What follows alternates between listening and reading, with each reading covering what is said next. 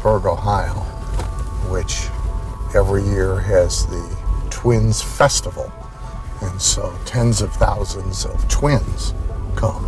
Do they have a parade and everything too? Oh yeah, they have. It's here for a week. They have all sorts of activities, and it's the only thing that happens here all year long. So it's you know it's a big deal. I, mean, I packed up and left, and I lived in Phoenix for a decade, and um, uh, the only reason to be here, I mean, other than nostalgia, you know, at a, at a certain age, elephants go back to their place of birth to die. Maybe I'm doing the same. I don't know. I returned to harness racing, which I grew up around racing, and uh, I literally arranged all my business affairs around it to interfere with it as little as is humanly possible. So clients come here, coaching groups come here. Now, so how long have you been harness racing?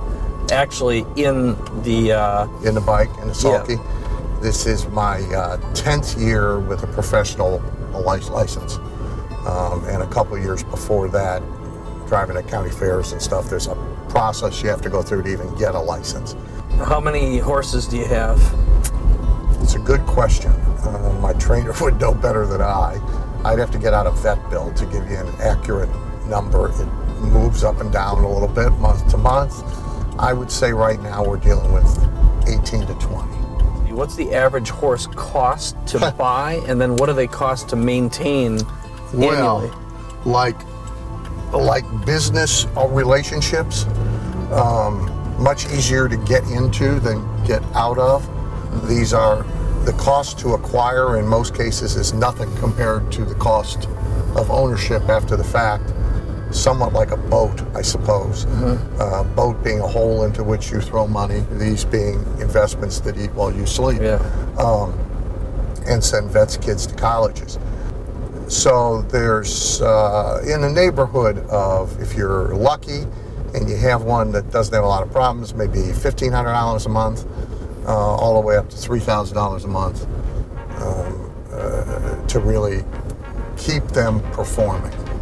All right, so here we are. We're at Dan's house right now, and we're going to go down into his office and also uh, just kind of get a tour and see his working environment. I don't know if this has ever been recorded in any form before. I don't think so. Okay. No. And it's not pretty. No, it's it's a functional environment. So yeah, don't expect a, a palace. That's what I think what you said That's when we exactly when we right. talked. So, well, why don't you uh, you know Pe- let's People head down. A big fountain and servants, you know. and It's not, it's not so the you- way we're not going to have like grapes, and no, you're not going to be you eating know, grapes. It's right. not the way I live. Yeah. Um, clients do come here, of course. Yeah. This is complete isolation. So, I mean, you know a little bit my, about my work style, but uh, with very rare exception, there probably aren't five people who even have the number. There are no unscheduled incoming calls. So all my phone calls are by appointment, which my one assistant arranges in clumps. So like next Thursday is a phone day. So I'll be on the phone from 7 o'clock in the morning till 7 o'clock at night. Pretty much one right after the other. But the rest of the week, I won't be on the phone at all. And there's never anybody coming in. So there's really days on end with hardly any interruption. And the productivity difference of that. I mean, one of the things that people do to themselves is they put themselves in, envi- in bad environments and then try and achieve good performance.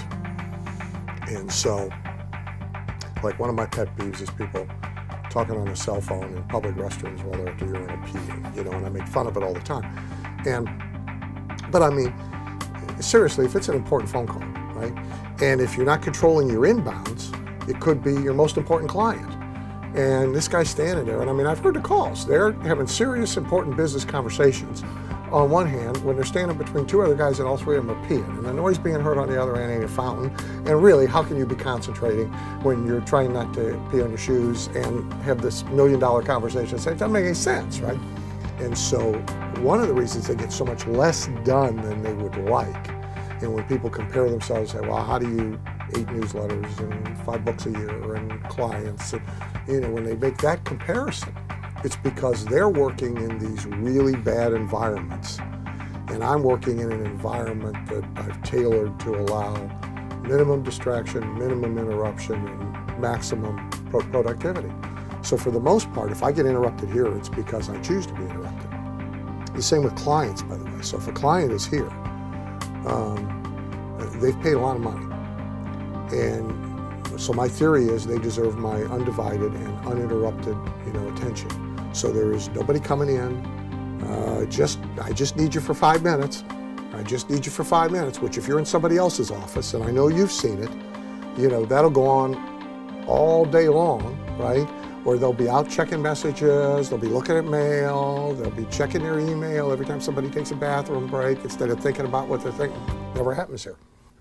All right, so here we're in another part of the office, and uh, we'll talk a little bit more about some of your libraries and materials in a little bit. But I'm curious, you know, we just talked about productivity, and you're all about controlling your environment. Mm-hmm. Um, and realistically, you probably get done five or ten times more per year than you know most people, if not your peers, and I'd say most productive people. I mean, if you think about the copywriting alone, I would say probably in the top tier copywriters, the six figure fee and royalty compensated copywriters, I would say probably that most are doing maybe no more than two projects at a time, and they may be doing six, eight in a year, right? Whereas in a big year, I may do 50. Um, and um, and it would just be impossible if you let yourself work the way most people work. Right. But again, I think the distinction here is um, environment first, but let's talk about quantity second, which is um, talk about your discipline. And by discipline, I mean how many days per week do you work work? And then how many hours a day do you have for, let's call it playtime, even though it's your other job, which is horse um, activities? uh, the discipline itself is is about regimen, and it is literally about going to work and working while you're working. So, it's one of the reasons. There are others, but for example, um, well, and more specifically, what time in the morning do you start and when do you end? Okay. typically? How many hours a day do you put Oh, in? a lot. And how many days a week? most of the time I'll work seven days. Um, now, a couple of those days may be limited time. They may be a few hours in the morning and then I'm done. Um, but I will usually, for example, like I have a rule to write for me, for my stuff, uh, at least an hour every day. So, and I'll pretty much get up as early as I need to do that to do it in order to keep that discipline in place. Like it's a joke in our family, you know, are you going to work on Christmas Day? You know, and the answer is, well, you're not coming out until nine o'clock in the morning. So, what difference does it make to anybody if I work from seven until eight You know, when I hear you muddling around up there, I'll be right upstairs. But until then, why, why don't I? Why don't I go work? escape from the self-imposed prison. Yeah, but until what difference does it make to you? You know, well, you shouldn't work on Christmas. I said, okay, but you know, you're asleep. What do you mm-hmm. know? Okay, and if I get really bored with everybody late in the afternoon and I leave for an hour and go work, nobody will even miss me, mm-hmm. right? So what does it matter to anybody? You know. Okay, here we go. Right. So there she is, and she's not in much worse condition than she was. 2568 uh, Columbia Road, Richfield, Ohio. So here's when you know you're having a bad day. Yeah. Now this driveway doesn't look that bad, but when it's buried in eight feet of snow, it's bad. Yep. right? And they flattened it. It used to go down and come up. So we're down to one car, which is mine. Okay, father has no operating car. Mine is a 1960 Chevy Impala, which I bought for $25 on payments. Okay? And the frame is cracked. Not all the way through, of course, but cracked on both sides and tourniquet wired together with wood blocks. It is stuck in that driveway in a snowdrift, deep. You can't move it. So, guy owns a gas station comes and has to tow it out, right? Because he can't plow the drive unless he gets it out of there. So he has to tow it out, right? As gently as possible, he tries. But the jerk necessary to move the car cracks the frame in half, splits the car in half, and out comes one half of it out of the snow, and the other half is in the snow, right? Yeah. This is when you know you are having a very, very, very bad day. When you're broke, the smallest of problems has epic consequences because you have no ability really to cope with anything. You're just bare, they're barely functioning, you know, a blown tire, Yeah. and you're out of commission because Yeah. a $15 tire is out of the And question can't if you don't have $15. Right, right. And so you might it might as well be a million dollar problem Mm-hmm. as a ten dollar problem because neither one could be solved, you know, and that's that's that's a circumstance that is that a lot of people never, you know, they can never get out of it. Um, and certainly choice, you know, didn't put me in it, but choices got me out of it. One way or another, wealth reflects value having been provided to people who perceive it as value. Yeah, I so you might big- not think comic books are valuable. You may think people should only read the Bible. Mm-hmm. But if enough people find value in reading comic books, then somebody's going to get wealthy producing comic books. But the important point is you've got to find a way to provide value to the marketplace. And, and you have to bring value to the table. And and that now connects to all sorts of things. It connects to uh, not tying money to work but instead tying it to value. Um, finding ways to create leverage so that there's more value from the same amount of work instead of little value from the same amount of work. On and on and on. But but wealth is is almost exclusively value based, value driven, and and everything else is secondary to that. So some years ago, I have a client. Actually, at the time, he was a poor client. He was nearly a charity case. Um, so Rory Fatt, he currently owns a company called Restaurant Marketing Systems, Yes. which is a leading consulting, coaching, training, marketing company in the restaurant industry. Yeah. But Rory's original business, when I met him, was a little um, home delivery of pre-prepared gourmet meals business, which incidentally was called Simple Salmon, even though it had nothing to do with salmon. God knows why. It, it was cute and it rhymed with Simple I guess. Simon. Okay, yeah, and there must have been a, you know, but I don't even remember what, what the reason was. But the business basically was high-end TV dinners to get you right, delivered to your home and stocked in your freezer. Okay, and so he's struggling. And so Rory, Rory said two things to me. First thing he said was, anytime I get somebody to try these dinners for a week, we keep them as a customer forever. Okay? And the second thing he said was, our best customers would be, and we know they tell us, they would be somebody who was who was out of food, right, and ready to scrounge around and call for takeout. If we could get them and get them to try this instead, we'd have customers for life. So the answer to the first question was, okay, let's give the meals away. If mm-hmm. you're telling me the truth. Yeah, Now, now, if you're lying, I'm about to destroy you. Yeah, exactly. You got, te- got to do some demographic and psychographic profiling first, But right? if you were telling me the truth, let's do free dinners, Yeah. deliver five free dinners, you'll get customers for life. I said the second issue is we need to be in the yellow pages in restaurants takeout. Because if that's the customer you want, and you want them when they're calling up to get takeout food, that's where you need to be. Great. So he goes to places Yellow Pages ad. Yellow Pages ad tell he, Rory calls me, says, I can't put the ad in there. I said, Why can't you put the ad in there? He says, We're not a restaurant, and they won't let us be in there unless we're a restaurant. I said, Well, that seems a simple problem to solve. He says, What do you mean? I said, Go down and get a business license for for simple salmon restaurants, Yeah. and go back to the yellow pages, and it's listed at the top as simple salmon restaurants. But who cares? We'd name it AAA Simple Salmon. yeah, exactly. So, bingo, he's in the yellow pages, and he's off to the races. Yeah. Bottom line is, you have a lifestyle um, oriented mindset and ultimately a, a lifestyle driven business right now. You've earned that right. Yeah, although I indulged that before I could afford it, Okay. um, in the sense that uh, it's a good way to say it lifestyle mindset. I mean, my, my mindset has always been, and I think at odds with many business people who get caught up in the opposite, my mindset has always been that the purpose of business is to facilitate other things, uh, not, not to its own end. and that you ought to own it, it not ought own you. And and it is my contention that any just about any business can do that, um, not just mine. Right. And most people, I think, get themselves trapped into working for their business rather than having their business work for them. So while I have made sacrifices at certain points in time, for the most part, I've always insisted that it not get in the way, but rather that it be organized in a way to facilitate the other things that I want to do.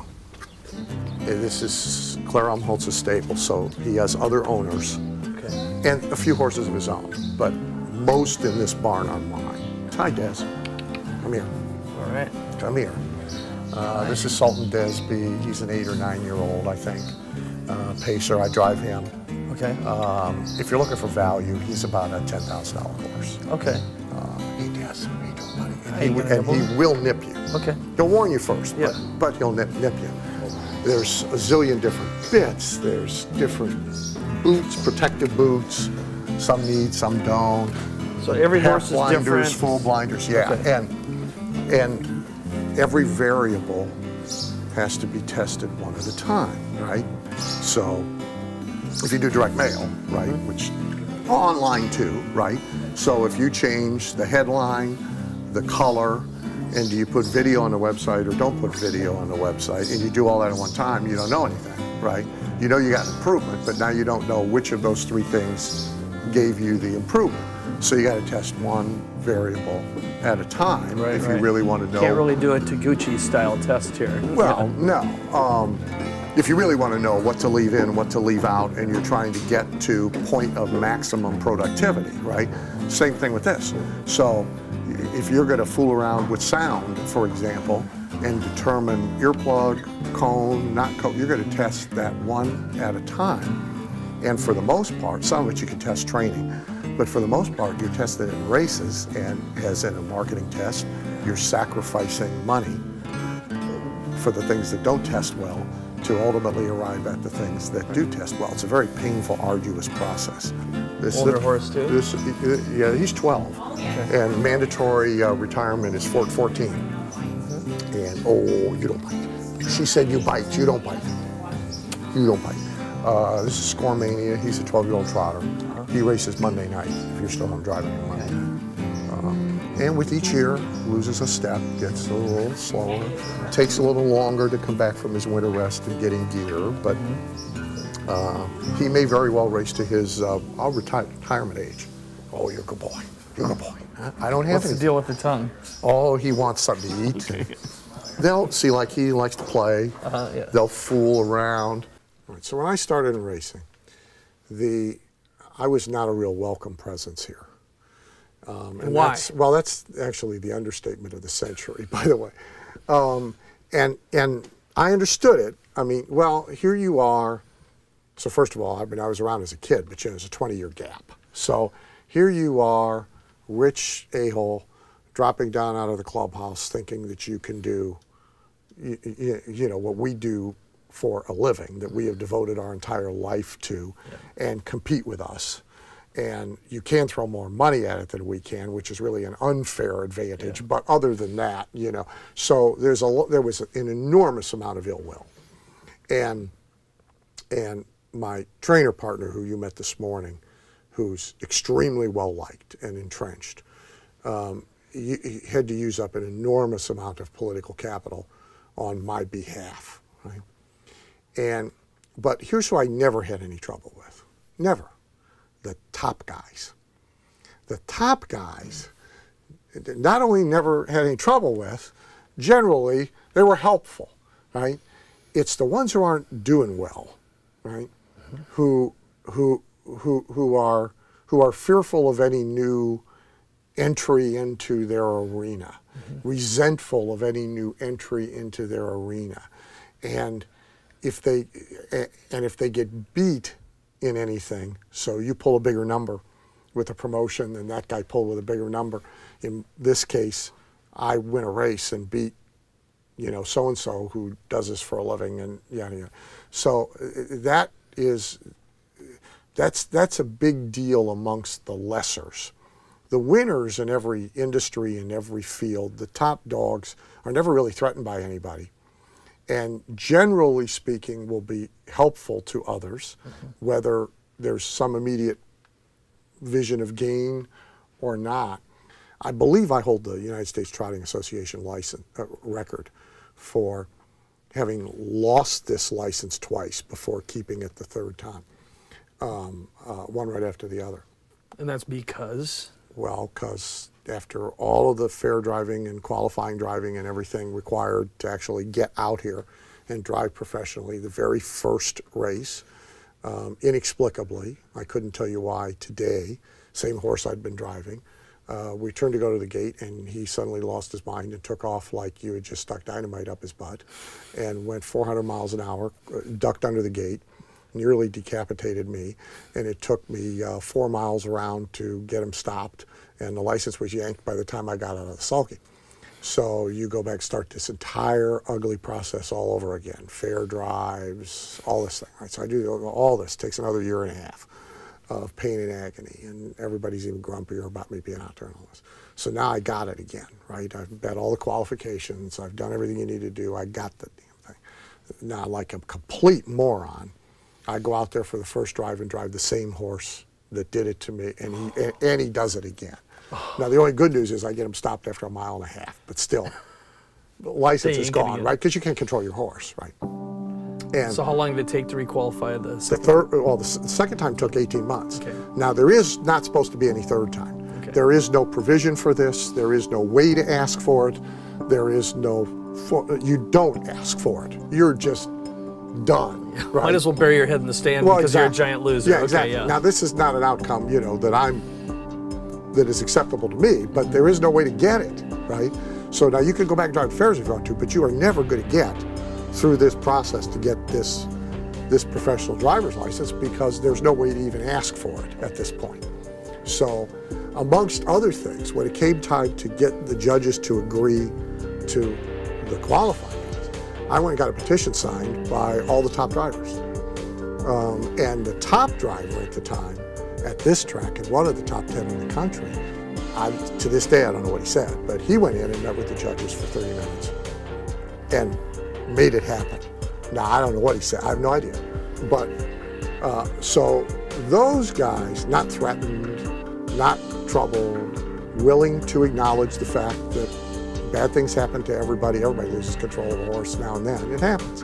Um, and generally speaking, I was safe and competent and qualified, not good, but safe and competent and qualified to be out there and so forth. Now, the guys who aren't doing well, who are scrounging around, you know, um, so like I beat in a fair race, I beat the top driver in the state on somebody's horse. And they were immediately accusing him of stiffing the horse and fixing the race for me to win. We're at a dinky county fair. There's no way to make any money fixing races. They're ridiculous. But just because I beat him, he had to let me, know, they're all resentful. So now if you, if, if you think about really any business you go into, so you go in, when I did, when I went into speaking, so you go into the sort of a closed pond and there's X number of peers participating in that industry, in that field, in that activity. And there are a vast majority of them who aren't really doing well because the vast majority in anything and everything aren't doing well. And they are going to be uh, resentful of the new one, challenged by the new guy, fearful of the new one, critical of the new one, objecting to everything the new one's doing. But you rarely get that reaction from anybody at the top. And, and it tells you several things. It tells you who to try and deal with, which is go as far up the top as you can. And it tells you how you should behave getting to the top and being there. Yeah. Right? Because there's a profound difference between how these winners think and behave, even towards competition, and how, to be cruel, how losers think and behave, even towards competition. And and and the fearful or resentful attitude about anybody who figures something out that's smarter than what you figured out, that moves past you in whatever sort of ranking there is in a business. Um, th- that's all. That's all coming from the place that you identified. It's coming from the place thinking that there's this finite amount to be had, and any piece of it that goes to somebody else is a piece that can't come to me. So literally, the food you're getting is coming off my plate. And that just stands in the way of everything. Yeah. Um, and and I've experienced a number of times. I experienced in the National Speakers Association environment when I entered the speaking field. Um, um, I experienced here. Um, those are the two profound times. Um, I experienced it in the advertising business at the very beginning on a local level in, in just one local market. Um, the new agency is not welcome. Um, and the way to have the most friends is actually to lose. Mm-hmm.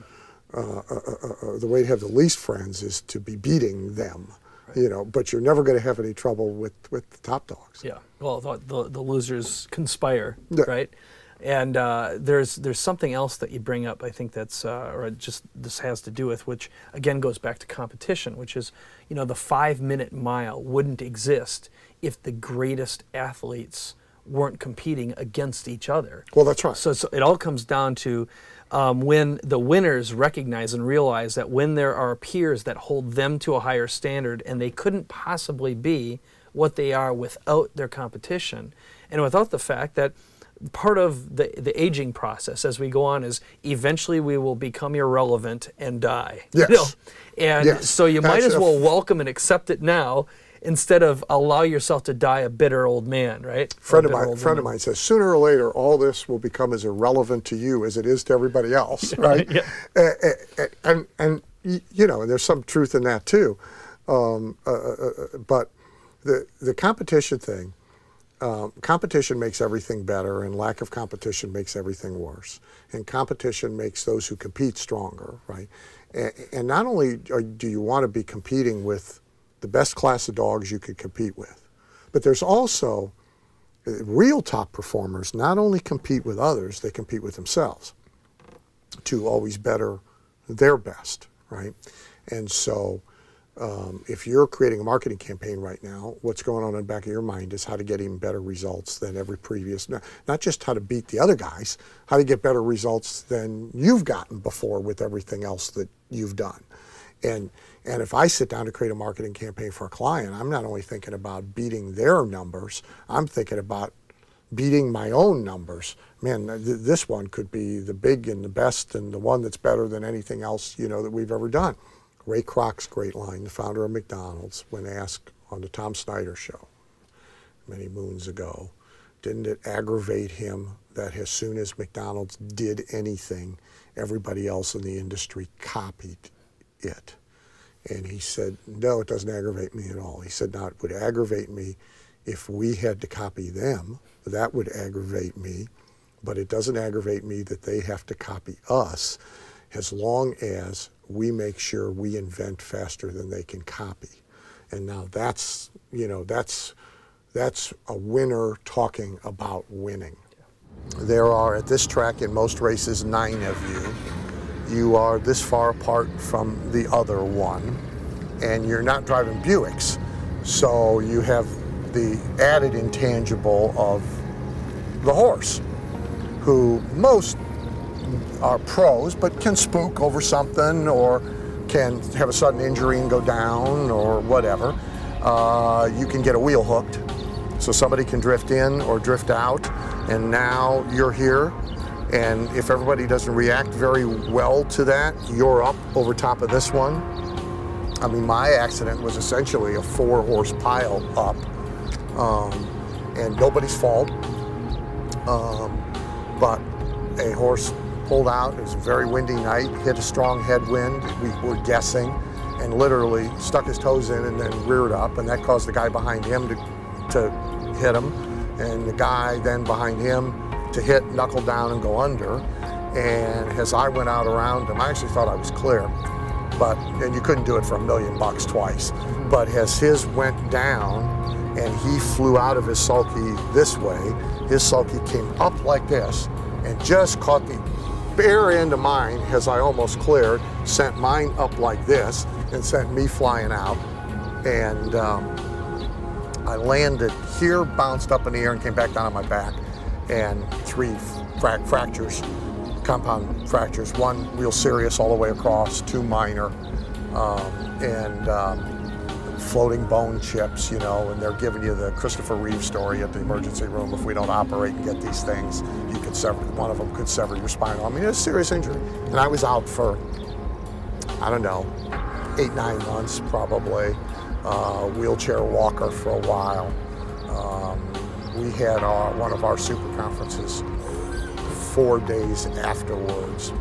And of course, the docs all said you can't go, but you know you got to go. So I mean, I was there, but I had to be wheeled around. And um, on stage, I stood up and spoke. Wow. But the rest of the time, I'm like, you know, one step away from death. I mean, and there are people who have career-ending injuries out here, or serious where they're out for three years, four years. A lot of broken arms, dislocated shoulders, that kind of stuff. But I mean, you can get yourself killed out there, or nearly killed. What's your advice then to accelerate the uh, wisdom, experience, and confidence cycle in and for an entrepreneur? They have to understand that it is their own timidity that stands in their way more than anything else. In other words, yeah, it's it's their their fear and their uh, yeah. Yeah. And then beyond that, um, what what is important is to somehow structure a small victory opportunity for people so that the risk of action feels low and the the occurrence of success however small it may be is high you don't necessarily have to get to the result to be able to have a sense of successful accomplishment if you are accomplishing activities that you know mathematically lead to results. So, if you structure a process by which no belief is necessary, but mechanical things to do, and you do these things, and uh, these victories will occur, if that can be their first sort of set of experiences, um, now you can you can move them along further. Now we are coming up on the right to neighbor's house and our house. So there's greenhouses in the back. Yep. So everybody but us had greenhouses behind their houses. So this is this at one time was the greenhouse capital of North, North America. So this English Tudor house was the neighbor, Yep. and this English Tudor house was ours. Now you could see a marked difference between this house and the house we saw out in Richfield. Yeah. But I mean, you can get a sense of its Oh yeah. size and its grandeur, you know, and inside it is a, you know, an English Tudor kind of mansion style house, big wood circular staircases and um, a, um, a dumbwaiter Yes. up and down, laundry chute, and Yeah. the money's still moving, and fundamentally, there's still the same money, and there's additional money coming into the system, but it is actually concentrated in the hands of fewer uh, than than ever, and they are able to be more demanding than ever. So the demands on the person who seeks to create and exchange value for wealth now are more stringent than ever before. The person parting with their money has far more choices than ever before because of technology, media, no boundaries. He doesn't have to settle for who's local.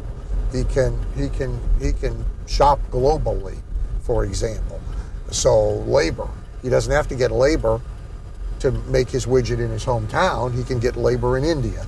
He doesn't he- so he's liberated in all sorts of different ways and so there's there's much less tolerance for interchangeable commodity uh, except by poor people who have no other alternative but to buy interchangeable commodity. There's much less tolerance for ordinariness. Um, this is really an experience economy. So whether you and I are going out and we're going to drop 200 bucks a person on dinner, or somebody's going to go out and drop 30 bucks a person on dinner. Neither one of us anymore are going to be satisfied just with dinner, right? We now want uh, more than that for our money. So we want more value for our money. Well, where does that value come? Well, we want more experience. We want a better experience. We want something more to it than good food on a plate. And in reality, that now exists um, in in every business, in every field.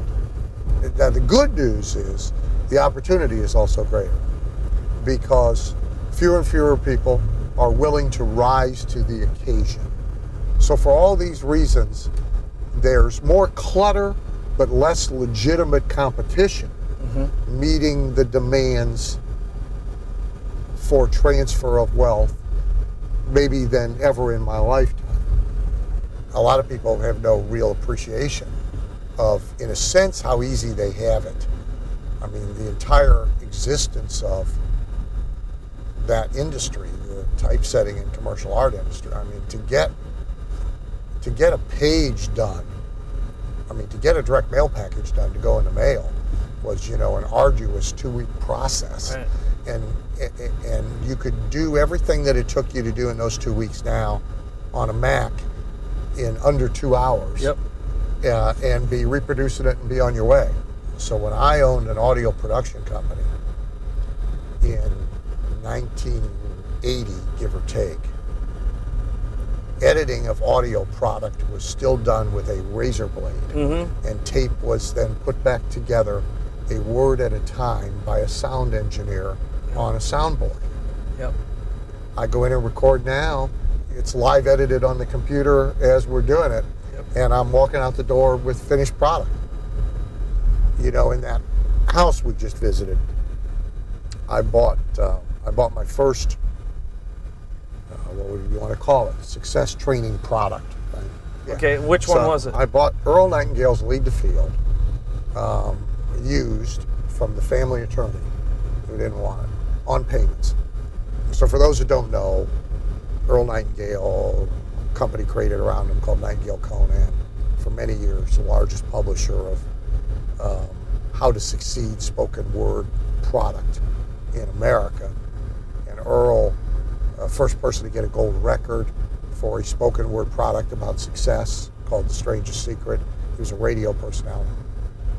Earl's statement was if you if you want to do something, whatever it is that you want to do, and you don't have any real blueprint and you don't have any role model, so you don't have a mentor, you don't have somebody to look at who is accomplishing that, right? And at the moment, I certainly had nobody to look at who was accomplishing prosperity. Okay, um, uh, he said all you have to do is look around at what everybody else is doing, and do don't the do opposite. that. Yeah, exactly. He said at least start by don't doing that. So you may not know what to do, but you can at least rule out You'll what be statistically not yeah. to do, right? He said, because, and specifically about money, the majority is always wrong. So whatever the majority is doing, uh, that's not the right thing to do. So you start from there, right? And I mean, I, I bought that like I, maybe to a greater degree than any other principle, idea, philosophical position has ever been put in front of me. And it resonates, you can find it as a river running through all my work and all, and I give credit often, but all my writings, uh, all my seminars, and then personally, everything I've ever done. So every time I've entered an environment, uh, so in the advertising business, copywriting business, in the in the speaking business, one of the first things I did is looked around at what the majority was doing, and crossed that off the list. Yeah. Okay, so that that we know is not what we're going to do. And then at least 99% of the time you'll be right. Yeah, yeah. now, failing any better idea, let's do the opposite. Yeah. Right. Um, but so you start that in every place. I found myself hunting for and finding the renegades at, who did not conform to the industry norms, the rules, the traditions, the accepted ways of doing things, and paying attention to them. So in the advertising world, you know, that leads you to to Ogilvy. Contemporarily, it led me to Halbert because this was a rogue renegade, contrary to all advertising wisdom, and uh, and it has served me very, very, very well, you know, over the uh, years. Okay, so one of the things that you see on Dan's walls are tons and tons of racehorses, and up in his library upstairs, he has even more, and it shows Dan either coming in or in. Well, those are the- all wind photos. These are oh, Yeah. these are just wins. So These are just wins. Okay. Yeah, we, we don't put up the photos of the, of the last place finishes. yeah, of course. Uh, uh, we only put up the photos of the wins. and you see 2,000, two, here's Yeah. 2,000, Seven. 4,500. Oh, if you're looking at money, oh yeah, yeah, yeah. Yeah, the money here. So each Yeah. One represents a purse. You have one over here that's a hundred thousand winner. Yeah, that's when I wasn't driving, but I owned Yeah. her. Yeah. Yeah, I owned her. Yeah, you still won. Mm-hmm. But And it's a little different. interpisty trivia. This is this is my first win after my big accident, Oh yeah. um, and that's also the horse that we had the big accident with. So wow. I mean, it wasn't her fault, of course, but so she got the first win uh, back after I started driving after that wreck. Har- har- harness racing uh, has all the same benefits of golf with horse manure, rain, mud, sleet, snow, and the possibility of death added in as additional benefits. I'm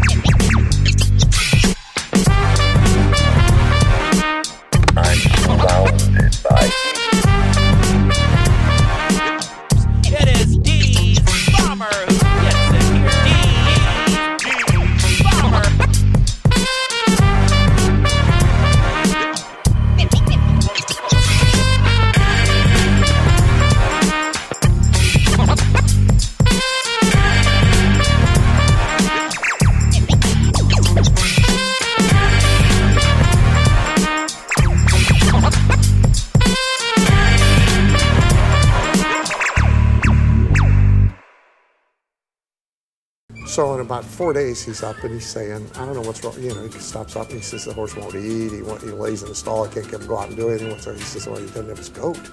You know. He says, So how much was the goat? You got it. I love oh, it. the goat's seven thousand dollars. the guy storms out. You know, I'm not giving you. So like four or five days How long did it later, he's Yeah. back. Right? They got the vet down there. They're giving the horse IVs. Did he double the price of the goat? He kept going up by two grand every time the guy came, came back to the barn. Right? That's awesome. So eventually he's up to like 12,000 bucks for the goat, right? The guy says, you, uh-huh. right? I'll just sell the horse back to you. The guy says, fine, I'll give you three grand. Yeah, exactly. Yeah. Oh, that's the best ever. Yeah. Love it.